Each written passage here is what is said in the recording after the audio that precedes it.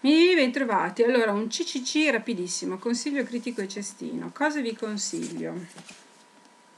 Il grande escluso, premio Strega, Aldo Busi, è lo specialista de Barcellona, edito da Lai, editore. Um, allora, questo è il capolavoro di Busi. Busi io lo amo molto. Eh, spesso e volentieri, secondo me, questo scrittore è penalizzato dalla sua immagine mediatica ed è un peccato, anche se non mi dispiace come provocatore. Però è un uomo di grande cultura, è un grandissimo comunicatore, sarebbe un insegnante strepitoso se soltanto eh, avesse un carattere un pochino più morbido, però fa parte del suo personaggio, del suo modo di essere, del, insomma, è così e lo si prende, o lo si ama o lo si odia.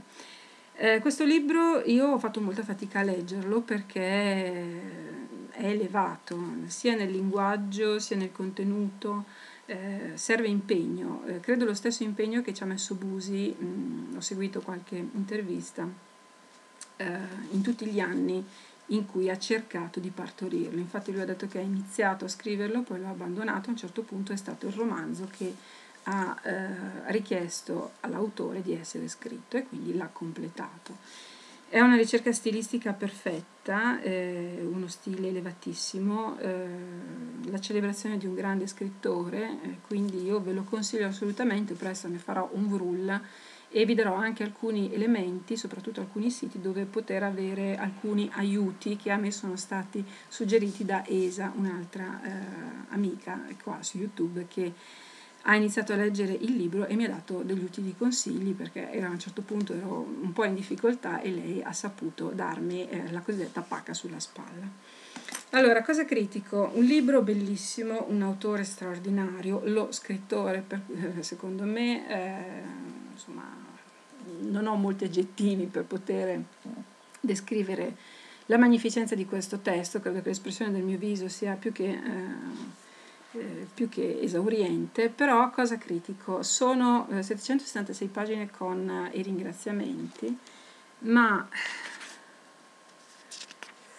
lo spessore è carta e velina e quindi io non so se magari con la luce si riesce a vedere, cioè se voi, non so, lo devastiamo questo libro qua, guardate alla luce, non so se si vede, cioè si vede attraverso quindi eh, per un lettore come me che ha bisogno di segnare, eh, di evidenziare, se io avessi mai usato su questo libro un evidenziatore, una penna o un pennarello, avrei massacrato le pagine, ma anche solo un segnetto a matita, essendo lo spessore così sottile, si fa quasi uno sfregio.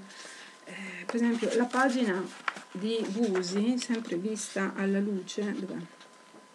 Vedete che non si vede tanto il dietro perché è molto più spesso e di ottima qualità. Ora, mi rendo conto che sono quasi 800 pagine, farle di uno spessore maggiore voleva dire dare un peso enorme a questo libro, però è un peccato, un peccato perché insomma io mi sono sentita molto inibita, eh, non poter fare un segnettino per paura di rovinarlo mi ha procurato dei blocchi psicologici importanti, quindi peccato, io spero che eh, insomma visto che anche costa 18,60 euro, spero che ci ripensino prossimamente.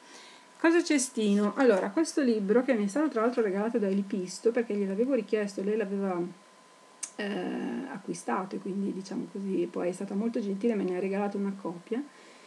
Eh, che è Il messaggio segreto delle farfalle di questa autrice eh, dunque iraniana se non ricordo male in pratica la vicenda è in Iran e parla di quella che è lo sfruttamento femminile. Mm, io sono molto attenta alla condizione femminile in vari paesi, quindi l'ho letto con grande interesse. Quindi parla di questa ragazza che viene fatta sposare dai genitori a questo riccone vecchio, bavoso, lurido, schifoso e praticamente vive qualche anno in una prigione d'oro eh, dove ce n'è di tutti i gusti. A un certo punto riesce a scappare, poi questo uomo muore, lei eh, come moglie ha l'eredità e questi soldi apparentemente sembra che gli diano gli strumenti per poter costruire, diciamo così, il suo futuro libero.